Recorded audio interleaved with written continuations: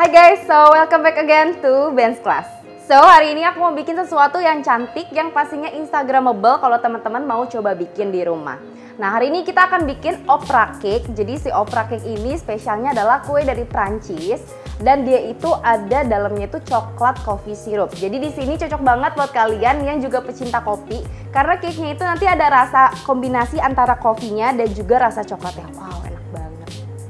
Untuk bikin si opera cake ini, jadi ada 4 step yang mudah banget teman-teman bisa coba ntar di rumah. Jadi yang pertama itu aku akan bikin jakonnya dulu atau di sini disebutnya almond sponge.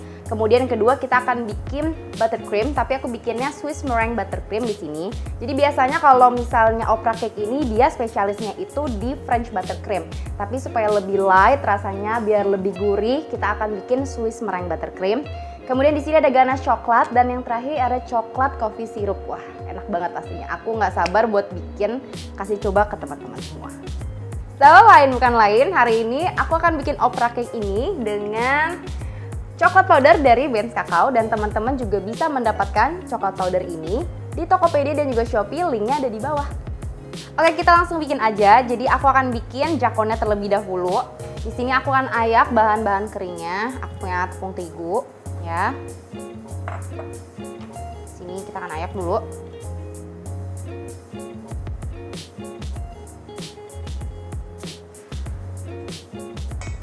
Kemudian gula halus.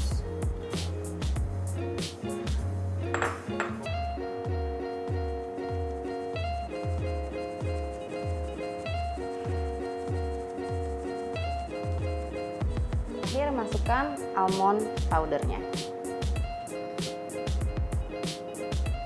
Ya teman-teman, jadi di sini aku sudah campurkan bahan-bahan keringnya. Tadi ada gula halus, ada almond powder dan juga ada tepung protein yang sedang. Sekarang di sini uh, sudah ada 3 butir telur ya. Tapi kalau teman-teman mau lebih pasti, ini harus ditimbang terlebih dahulu 180 gram telurnya. Aku menggunakan telur yang besar ukurannya. Kita kocok aja lepas seperti ini. Sudah kita kocok lepas seperti ini, kita akan masukkan ke dalam bahan kering.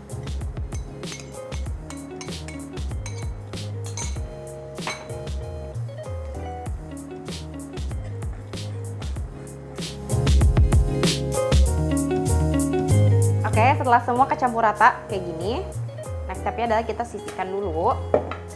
Kemudian kita ambil bowl yang baru, yang bersih. Di sini sudah ada putih telur ya. Putih telur kita masukkan semua. Kemudian aku akan masukkan nanti gulanya sampai bertahap.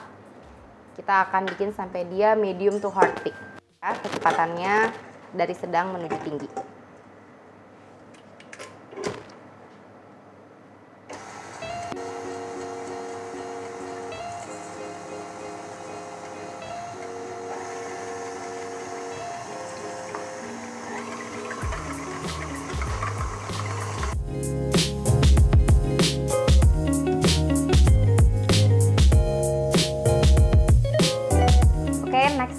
Dia sudah seperti ini, medium thick. Kita akan campurin bagi tiga tahap.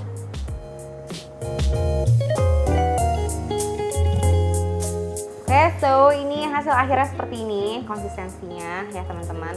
Nah ini tips dari aku adalah bagi uh, dalam tiga tahap dan juga kalian perlu putih telur yang sangat-sangat fresh ya supaya nanti hasil jadi medium thicknya itu maksimal bagus. Oke, yang terakhirnya akan aku taruh mentega di sini ya. Jadi pembuatannya seperti sponge cake biasa, tapi tekniknya berbeda. Kemudian kita akan aduk semuanya, make sure jangan sampai ada mentega yang mengendap di bagian bawah, oke?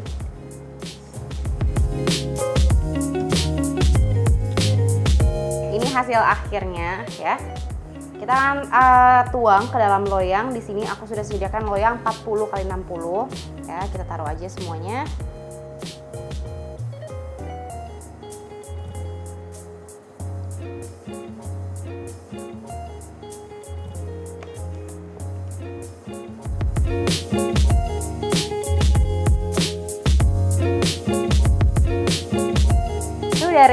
jadinya teman-teman. Kita akan masukkan ke dalam oven. Aku sudah siapkan ovennya di 190 derajat. Kita akan panggang selama 10-15 menit. Nanti kalau misalnya udah 15 menit kita akan puter loyangnya supaya semuanya matang rata.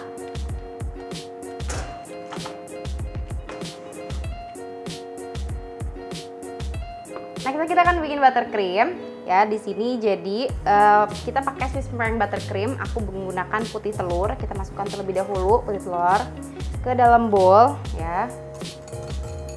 Kita masukin putih telur. Kemudian di sini ada gula. Kita masukkan semua.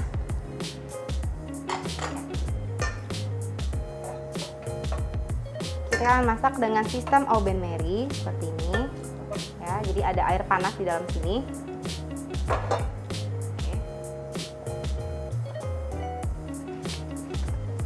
Kita akan aduk sampai semua gulanya larut.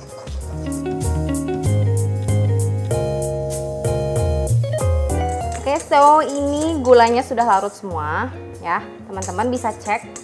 Kalau aku cara ceknya itu dengan dipegang aja seperti ini. Kemudian aku pegang kalau sudah tidak ada butiran gula sama sekali ya sudah sangat halus ini kita bisa proses ke next step selanjutnya ya kita akan mixer sampai dia mengembang volumenya dua kali lipat dan juga di bagian wajan sini sudah tidak panas lagi. Oke. Putih telur ini kita akan kocok dengan kecepatan tinggi ya sampai dia mengembang dua kali lipat.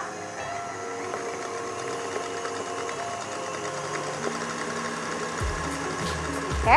Dan while dikocok, di sini aku punya butter dengan uh, room temperature butter dan di sini juga unsalted ya. Kita akan kocok terpisah.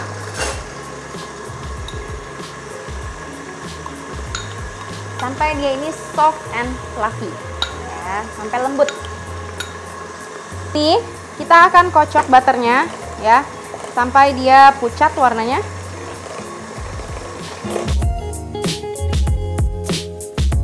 Butternya sudah soft seperti ini ya. Sudah lebih soft. Dan di sini juga sudah mengembang dua kali lipat kawan kasih lihat dulu nah ya dia sudah mengembang kaku seperti ini sangat bagus ya untuk putih telurnya. Nah, kita akan masukkan menteganya sekarang ke dalam putih telur ya sambil dikocok dengan kecepatan yang rendah. Oke.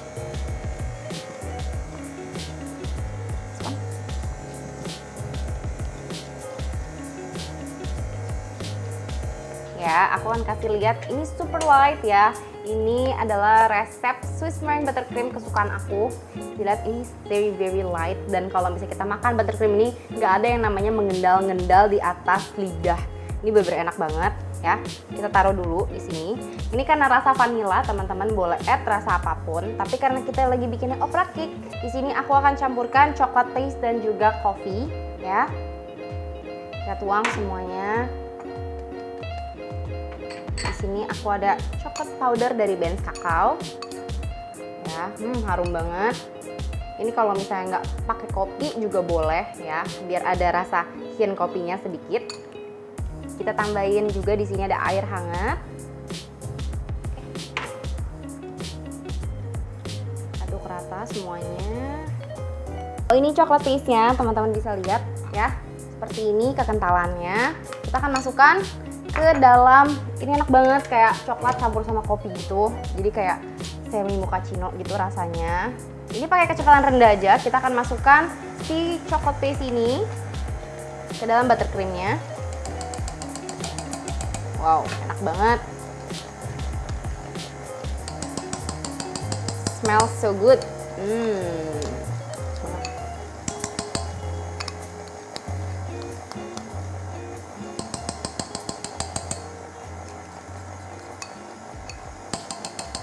udah jadi ya coffee butter cream. Karena aku kasih lihat teksturnya seperti ini. Wow very light ya. Pon kasih coba sedikit. Pengen coba pakai sendok rasanya.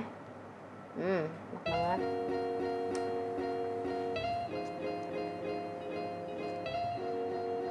Enak banget parah. Parah. Enak banget coba. Hmm. Oke. okay. Kita akan sisihkan dulu ini ya. Next kita akan bikin coffee chocolate syrup. Sudah bikin jakonnya, kemudian kita udah bikin coffee buttercream. Sekarang kita akan bikin coffee chocolate syrupnya. Di sini aku punya um, coklat dan juga coffee sama ya coklat powdernya dari Afriko Abens Kakao pastinya wangi banget. Nah, kita akan masukkan kopinya di sini. Kemudian biar lebih mudah aku akan campurkan dulu sama air ya. Kita akan jadikan paste dulu biar mudah larut nanti semuanya.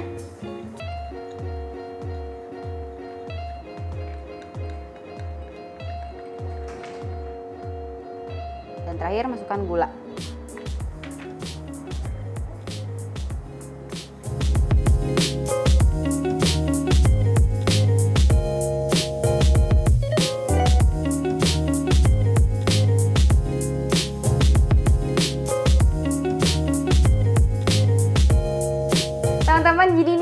hasil jadi dari jakonnya bisa teman-teman bisa lihat dia hasilnya memang sedikit lebih tipis ya. It's okay nggak apa-apa. Jadi dia lebar seperti ini. Saatnya kita akan assemble kuenya.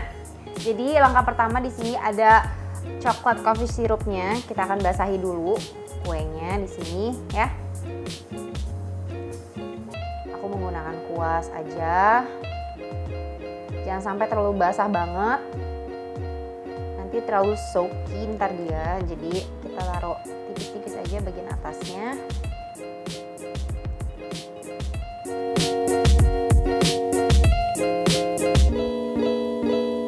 Ini kita udah taruhin semuanya sampai rata. Nextnya kita akan taruh Swiss buttercreamnya ya. Ini rasa kopi dan juga coklat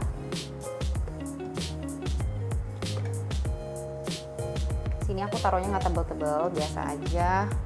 Yang penting semuanya rata.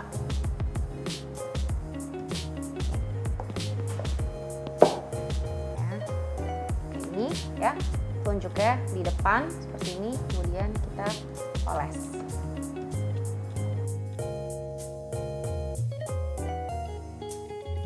Setelah semua buttercreamnya sudah spread seperti ini nextnya ini adalah komponen yang paling penting yaitu coklat ganache.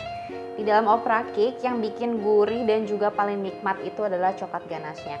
Dan untuk resep coklat ganas ini teman-teman bisa lihat di video detik Swiss Roll.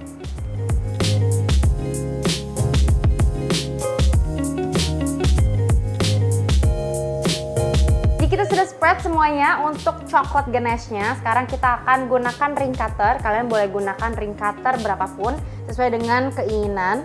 Ya di sini aku akan mulai hmm, seperti ini kita akan cut ya. Kemudian nanti kita akan masukkan ke dalam kulkas.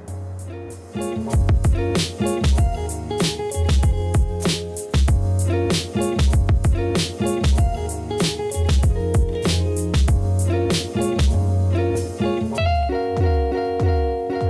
cutter kita akan pindahkan kue-kue ini ya di dalam kickboardnya seperti ini ya. Oke kemudian susunan yang kedua kita ambil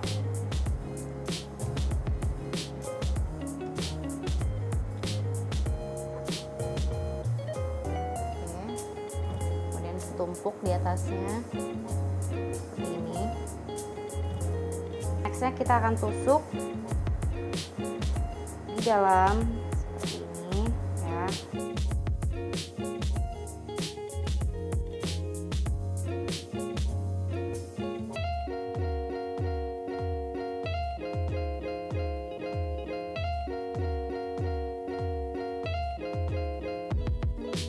So ini jadi seperti ini. Kita akan dinginkan dulu di dalam kulkas kurang lebih 10 sampai 15 menit sampai semuanya lebih ngeset dan habis itu kita akan covering kuenya dengan coklat ganache lagi. Oke, okay?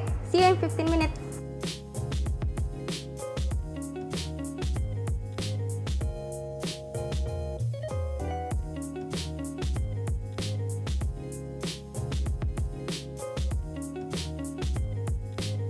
Aku akan taruh beberapa kombinasi dari coklat putih dan juga coklat uh, yang warnanya coklat ya untuk dekorasi teman-teman bisa bebas berkreasi dengan apa pun. Ini aku tempelkan beberapa uh, kombinasi coklat putihnya.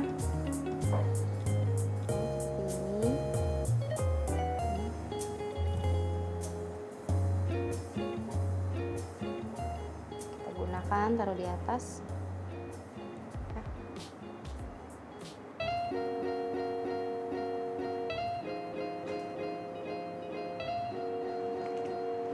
akan aku tambahkan ada coklat ganache.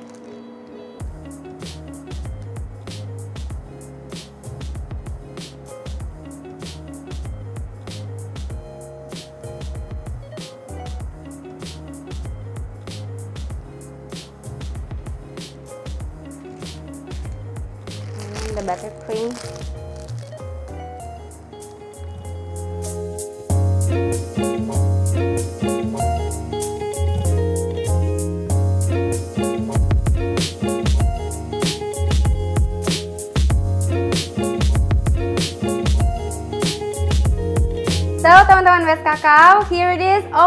cake. Teman-teman di rumah pastinya harus coba untuk buat di rumah karena ini super simple dan juga super enak. Jangan lupa juga untuk di-share ke teman-teman yang lain supaya semuanya bisa ikutan coba. Kalau teman-teman mau coba rebake di rumah, jangan lupa untuk memakai Benz Kakao Afrikoa dan bisa teman-teman dapatkan di link di bawah di Tokopedia kita dan juga di Shopee juga ada. Dan juga jangan lupa untuk follow IG-nya Benz Kakao. So, teman-teman Benz Kakao, see you di next creation selanjutnya. Bye-bye!